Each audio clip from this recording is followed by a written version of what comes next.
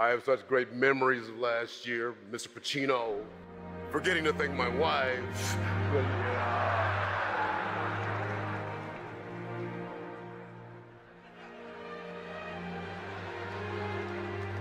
Mother. All right, all right, I get it. I get it. I'm not gonna stand up here making long speeches. I'm gonna stick to the script. No eight minute speech like last year. But fun fact my speech was actually longer than this year's Call of Duty campaign. What? This was the quote that sent some Call of Duty developers to X, where they X'd the following Funny, but yeah, the metrics that COD absolutely destroys all of the God of War games, probably combined to be honest in, is also equally laughable, if not more. Imagine having short user engagement once your game is consumed. Can't relate, lol. Hashtag Game Awards. Now, I'm not here to tone police what people say or do on their own platforms, but a few things about these tweets rubbed me the wrong way, and I wanted to explore why that was. First, I think they come off as completely tone deaf in a time when more and more gamers are becoming frustrated and burnt out at the endless cycle of engagement based metrics that are designed to keep players on figurative treadmills that just bloat game time. But then this got me thinking. For the sake of argument, let's say that these devs have all the metrics and are correct for saying that Call of Duty blows God of War out of the water in terms of user engagement. If that were the case, then Call of Duty should also blow God of War out of the water in its reviews as well, right? If we go to a site like Metacritic and compare the two, we can clearly see that this is not the case. In fact, you need to go back to 2019 for Call of Duty to clear 80 points with Call of Duty Modern Warfare, and you need to go back all the way to 2009 to Call of Duty Modern Warfare 2 for it to get to 94 points, where it finally ties with the last two God of War releases. So if Call of Duty has such higher engagement metrics than God of War, why are its reviews so much worse?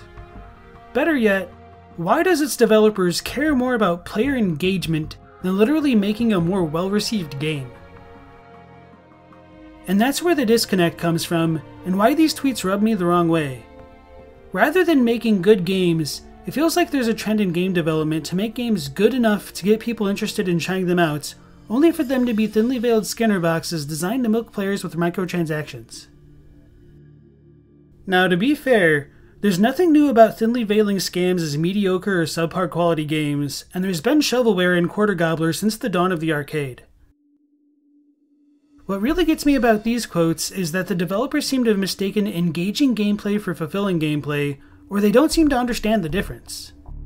Playing a good game once for 20 hours doesn't make it a less enjoyable experience than a game you play for 200 or 2000 hours, and the meme of people not recommending games they've played for over 500 hours is a thing for a reason.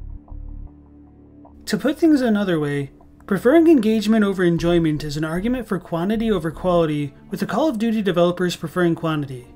Which, is this any surprise considering the absolute number of Call of Duties Activision has released? I didn't misspeak earlier when I said Call of Duty Modern Warfare came out after Modern Warfare 2.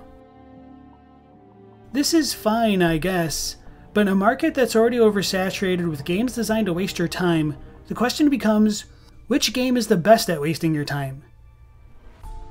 It becomes an issue of quality, ironically enough, and the developers choosing to champion quantity over quality through metrics like player engagement feels like they're putting the cart before the horse, troubled development cycle or not.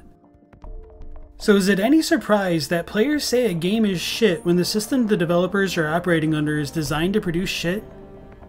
I understand that these are only two developers, and it's completely natural to want to defend a product you've worked on, and they have every right to do so, but the way these two have approached the topic sets off major red flags for me, and as they say, where there's smoke, there's fire.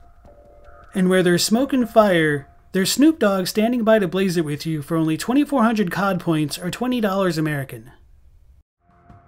So, yeah, I just wanted to say my piece over this minor controversy since it's been weighing on my mind lately. This video is pretty different from most of the other ones I've made so far, so if you enjoyed it and want to see more videos on these kinds of topics, let me know with a comment, a like, or a sub. I'd also like to shout out all my patrons and channel members, you guys really help motivate me to not let you down and keep making videos. Until next time, Last Protagonist out.